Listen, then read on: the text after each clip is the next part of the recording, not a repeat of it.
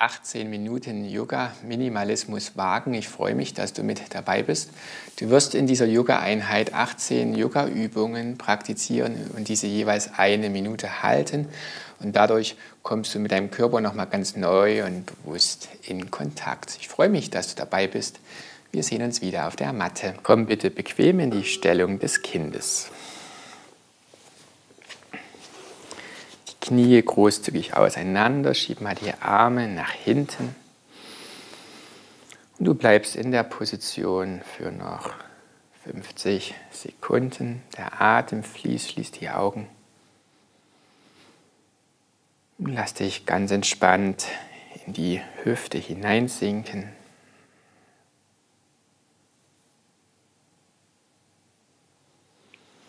Das Motto der Stunde weniger ist mehr. Erlaube es dir mal einfach in die Ruhe hinein zu entspannen, das zuzulassen.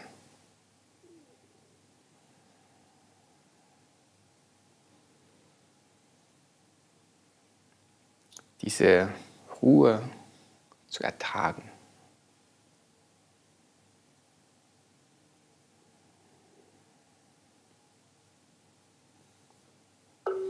Jetzt schiebst du die Arme weit nach vorn Komm über den Vierfüßlerstand, Liegestütz in den herabschauenden Hund.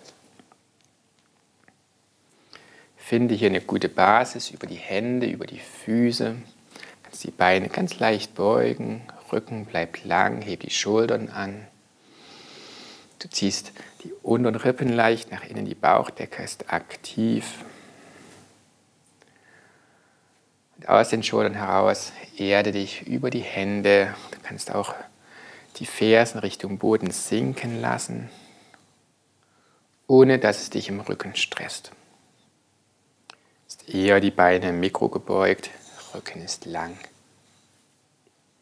Dein Atem fließt ganz ruhig und ganz gleichmäßig.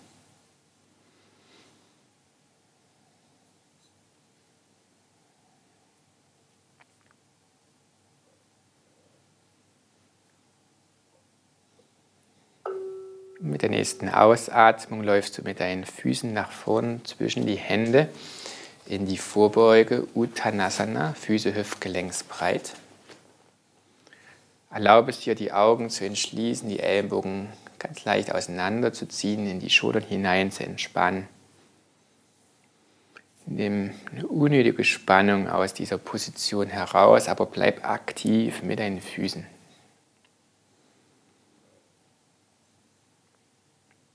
Du wirst eine ganz neue Qualität dieser Übungen für dich erkennen, wenn du diese Position länger hältst. Bring den Fokus bewusst auf die Ausatmung, verlängere die Ausatmung. Atme bewusst ein und so mit einer Ausatmung körperlich, mental entspannen, loslassen.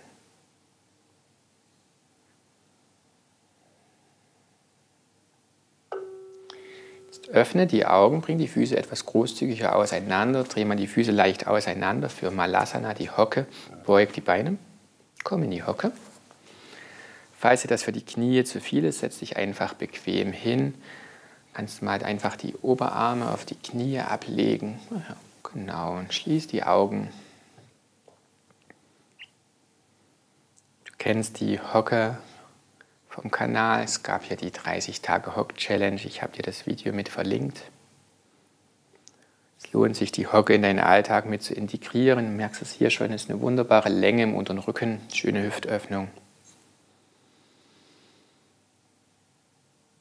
Knie schauen in Richtung deiner Zehen. Knie kippen nicht nach innen, eher ganz leicht nach außen.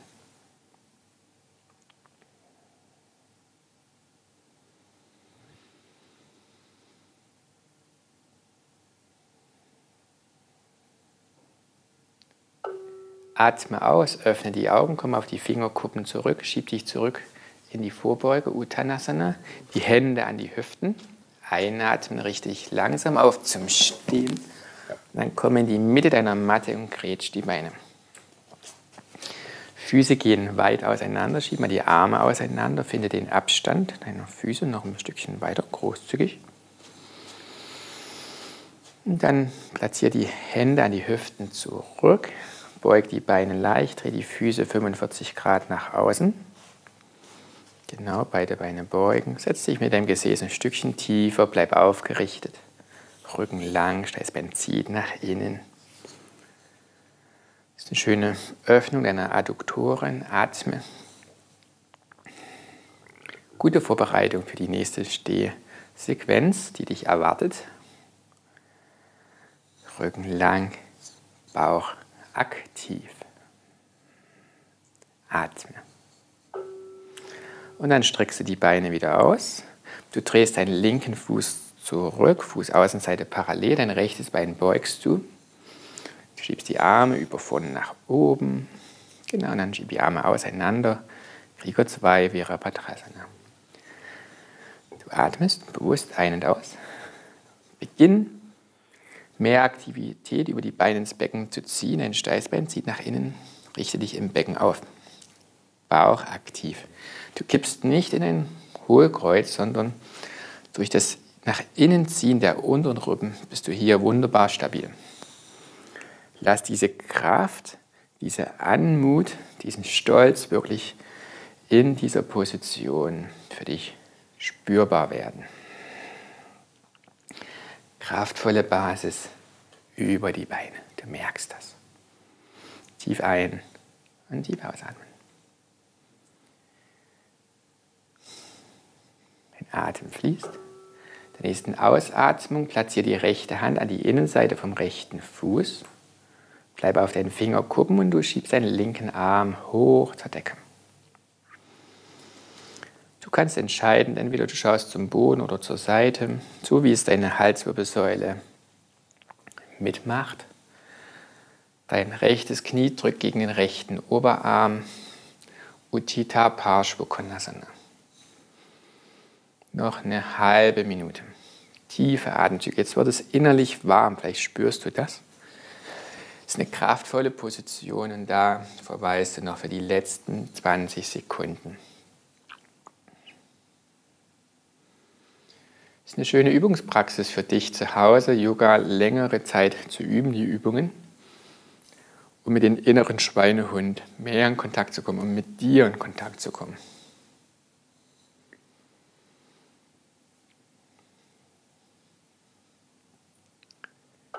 Linke Hand an die linke Hüfte. Lass dir Zeit, bleib auf deinen Finger gucken und beginn das rechte Bein zu strecken für das Dreieck Trikonasana. Zieh die rechte Hand genau unter die rechte Schulter. Dreh dich von rechts nach links auf, schenk dir innerlich ein Lächeln und dann kannst du gerne den linken Arm Richtung Decke nach oben schieben. Das Dreieck Trikonasana, wenn du magst, schließ die Augen und bleib in Verbindung mit deinem Atem. Die Schienbeine ziehst du von außen zueinander. Kraftvolle Basis. Beine aktiv. Tiefes Ein, langes Ausatmen.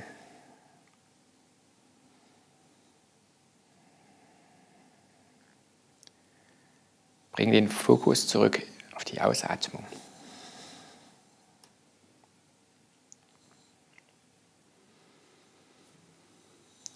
Linke Hand an die linke Hüfte.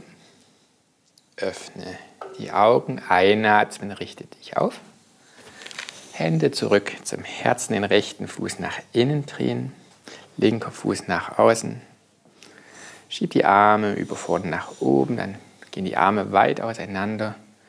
Linkes Bein beugen, Krieger 2, Virabhadrasana. Beide Arme in Linie, Schultern entspannt, Steißbein zieht nach innen, Rücken lang. Atme. Was strahlt diese Position für dich aus? Was bedeutet für dich ein Krieger oder eine Kriegerin zu sein? Vielleicht deine eigenen Ziele zu verfolgen.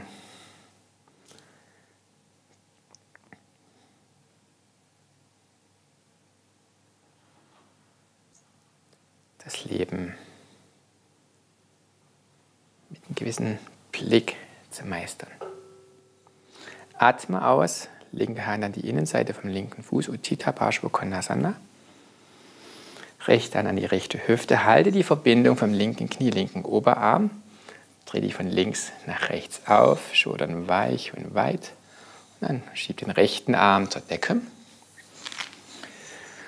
Kannst gerne mal zu uns schauen. Eine Linie, rechte Hand, Ellenbogen, rechte Schulter, linke Schulter, linke Hand, Gelenk über Gelenk. Und wenn du magst, schließ die Augen, gönn dir Raum in den Flanken. Verlängere dich über die Krone des Kopfes. Die Halswirbelsäule bleibt lang, der Atem fließt. Du bist in Kontakt mit dir.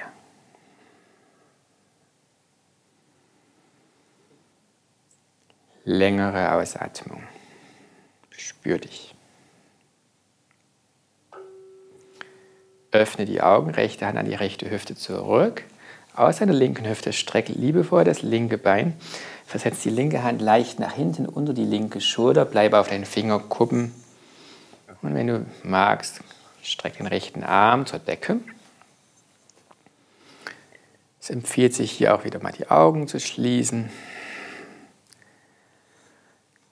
Füße geerdet, feste Basis und dann aus dieser Basis gehen die Ausdehnung über die Peripherie, über die Fingerkuppen, über die Krone des Kopfes, über die Körperrückseite, die Körpervorderseite.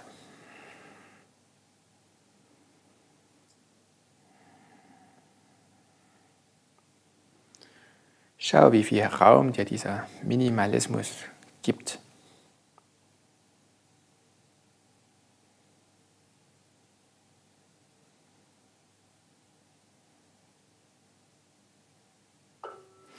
Ausatmen, öffne die Augen, bring die rechte Hand neben die linke Hand.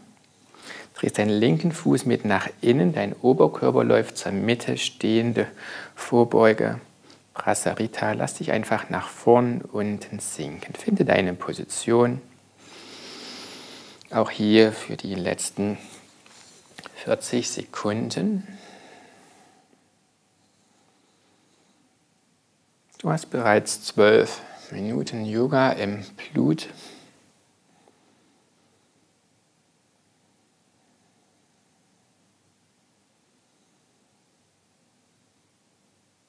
Dann kannst du dich so innerlich auf die letzten sechs Minuten einlassen.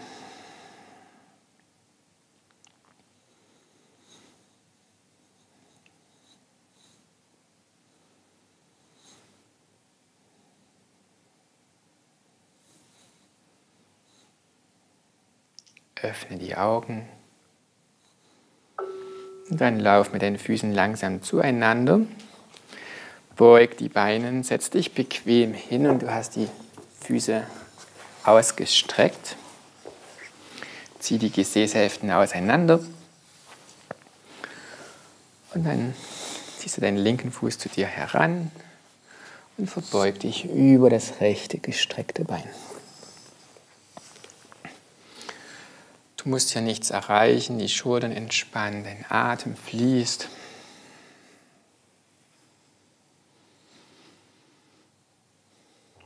Janushios Asana, die Kopf-Knie-Position. Ganz aktive Füße. Erlaube es dir, in die Rückseite hinein zu entspannen.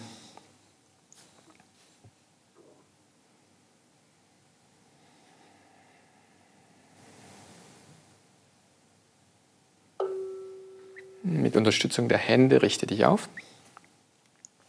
Lauf wieder nach hinten. Für den Drehsitz ziehst du das linke Knie zu dir heran. Rechter Arm und das linke Knie, die linke Hand stützt ab. Schließ die Augen. Für die nächsten 40 Sekunden. Dein rechter Oberschenkel ist leicht nach innen gedreht. Schieb die Ferse, die Ballen nach vorn. Ein ganz aktives rechtes Bein. Erlaube es dir in die Hüfte hinein zu entspannen, die Krone vom Kopf Richtung Decke zu schieben.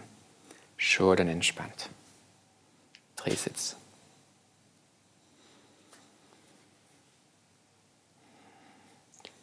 Langes, vollständiges Ausatmen.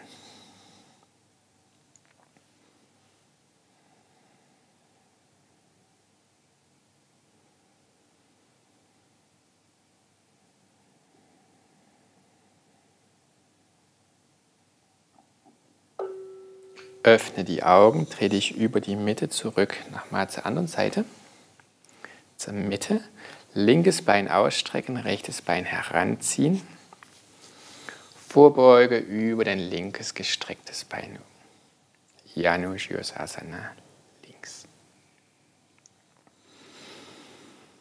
Und so wie du die Ellenbogen ganz leicht auseinanderziehst, bekommen die Schultern hinten Raum, kannst in die Rückseite atmen. Und erlaubst dir dann aus dieser Rückseite in die Körpervorderseite hinein zu entspannen.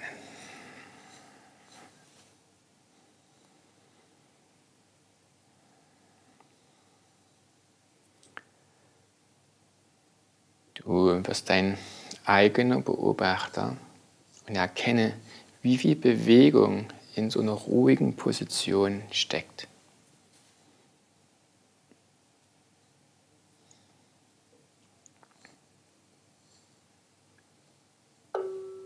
Nächsten Einatmung richte dich bitte wieder auf.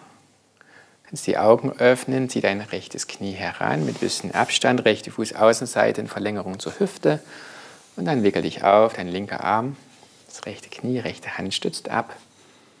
Entspannen beide Schultern, auch die linke Schulter zieht nach hinten unten. Die Ballen schiebst du nach vorn vom linken Fuß. Erlaube es dir, in den Körper hinein zu entspannen. Du bist aktiv und passiv zugleich.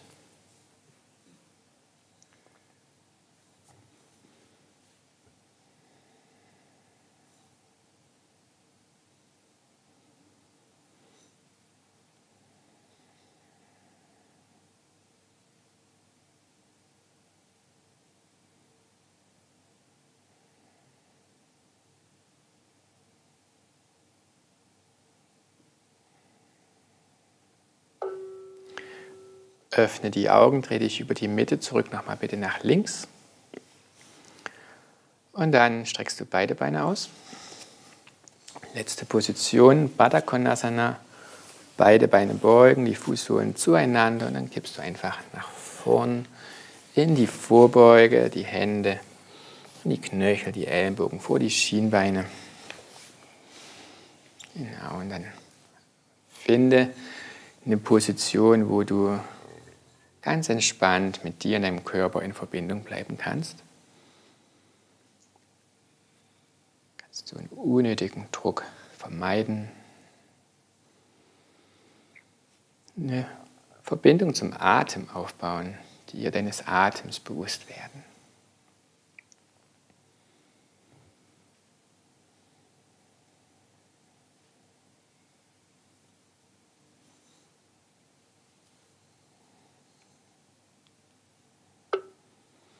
Dann atmest du aus, öffne die Augen, komm langsam nach oben zum Sitzen. Sitz bequem, aufgerichtet, Füße locker abgelegt, Hände zum Herzen. Gönn dir noch mal ein tiefes Durchatmen. Bedanke dich bei dir selbst für die Übungspraxis Möge Yoga dir helfen, dass du diesen Minimalismus für dich immer wieder neu entdeckst und die Erkenntnis sich entwickelt. Weniger ist manchmal mehr im Leben. Atme aus, öffne deine Augen, löse die Hände. Vielen Dank, dass du mit uns diese Übungssequenz geübt hast. Das war ein Experiment. Es würde mich oder uns sehr freuen, wenn du mal ein Feedback schreibst. Wie hat dir das gefallen? Ich übe Yoga so sehr gern für mich, auch in den Yogastunden. Freut mich von dir zu lesen. Du kannst den Kanal hier oben abonnieren und hier gibt es das nächste Übungsvideo. Hab einen wunderbaren Tag. Ready. Das waren 18 Minuten. Wahnsinn. Krass, das oder? kam mir vor wie 10. Wirklich? Cool. Ja, das fand ich gut. Ich auch.